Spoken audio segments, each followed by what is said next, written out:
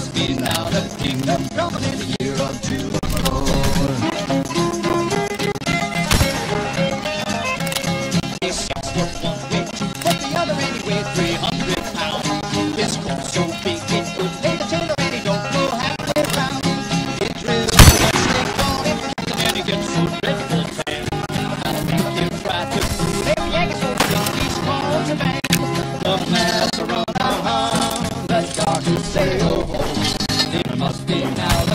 I'm company the year of Jubilee.